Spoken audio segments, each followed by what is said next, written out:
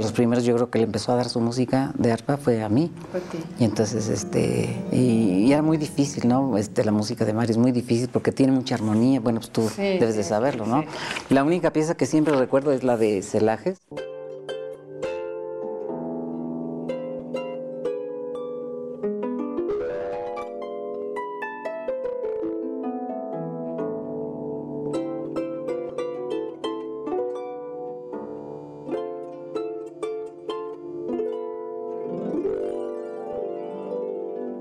Y luego me lo encontré y me decía, ¿ya estás tocando mi música? Sí, ya toco celajes número uno.